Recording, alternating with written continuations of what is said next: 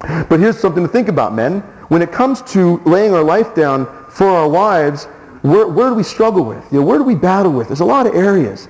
Again, there's one area, and I'm going to get to it in just, just a second here, that is probably one of the most petrifying and serious areas that, that, that, marriages struggle with. And, and I can tell you this because we run into it all over the country, all over the country. And it's been a problem that goes, stems so far back and it has led to so many destructive elements in family, unbelievable. And yet people have taken it upon themselves, just as the women who claim, you know, the ability, or excuse me, the right to kill a child. Okay, people have taken this upon themselves as well to say, look, it's my right, it's my life, it's my body, my marriage. Church can't tell me what to do. Contraception. Birth control.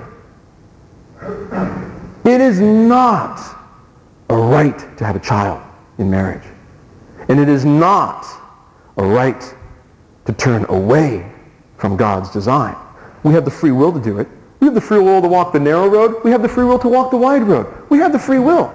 You know, Whoopi Goldberg recently said in this, this pro-death march that they had, the 500,000 plus women in Washington, where she said, you know, God even gave us free choice. Well, sure he did. Just like he gave Adam and Eve free choice. You can obey me or you can disobey me. But the bottom line is this. Marriage is about two main things. It is about the unity of the husband and the wife for the sake of leading the other one to heaven, getting the other one to heaven. And it's about being open to the creation of life to make that family, which is the cell of society, as the Holy Father says. And when you and I shut the door on that through birth control, contraception, or any form of abusing that gift, we are saying to God, I make the decisions, not you. I can't handle this, Lord. Therefore, you know what? My wife, I may never see her again. I realize that. She could pass away in a car accident. She could die in her sleep. So could you. So could I tonight. We do not have control over our lives. How many of you woke up today thinking, I'm going to breathe today? okay. Make my heart beat today. Okay. All right. There we go. All right. I'm going to digest the food from last night. Okay. Grow the hair. Hair fall out. Okay. Here we go. Oh, oh, oh, forgot to breathe. No, we don't do that. You're going to go to bed at night thinking you're waking up in the morning. You're going to expect, I'll see you in the morning, sweetheart. I love you. Love you too. Good night. See you in the morning. Okay. You don't know that. You do not know that. How many of you have that kind of control of your life? I don't. I tried. It doesn't work. We try to take things in our own control. So when it comes to the most amazing gift that God gives between a man and a woman, the, the, the ability to procreate. Be open. Be open and let God do what he wants to do. What was one of his commands? The key command to Adam and Eve. Be fruitful. Multiply. Nowhere in Scripture do you see him say, but stop at 2.3 children. He doesn't even say stop at 6 seven, eight, nine. I know families, 12 and 13 and 14 children. They're some of the happiest families around because, not because they have a lot of kids, but they were open to whatever God wanted. That's why they're happy. They had said to God from the beginning, yes. And when they struggle with it, you know, a man that we met down in Houston, uh, Texas a couple weeks back, you know what he said to me? He said, we'd had two kids, a boy and a girl. I went and had uh, the vasectomy, got myself snipped, everything's fine, there you go. Then something's bothering me. Then uh, religious experience to some degree. He went to an event which really prompted him to go to confession for the first time in many years. Something started to happen inside. He went back, had a reversal. Now they have a little girl who's about three years old. She's adorable. And he looked at me and he said, you know what? I had closed the door to God.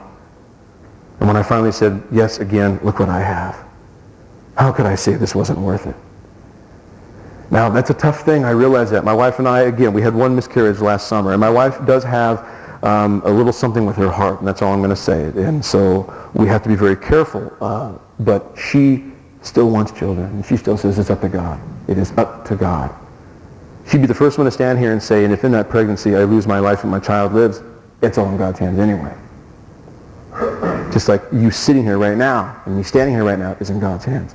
We do not have control of our lives on.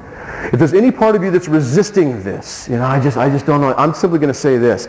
You look at statistics even of people who practice birth control, people who reject God's design, people who do not have God in their life, you name it, whatever. The divorce rate is what? Between 40 and 60%, depending on the study. For people who do not practice birth control and, and, and are open to life, only using NFP when the church permits it in extreme cases of emotional health and, and such, and, and that's something, you know, more time to get into we won't do. But only in extreme cases the church even permit NFP. In other words, from the time you're married, you be open to life. So you make God the center, prayer, sacraments. Do not contracept. Do not shut God out of your life. You make that prayer life just like, like, the, like the blood in your veins. The divorce rate is less than 1%. You tell me what makes sense.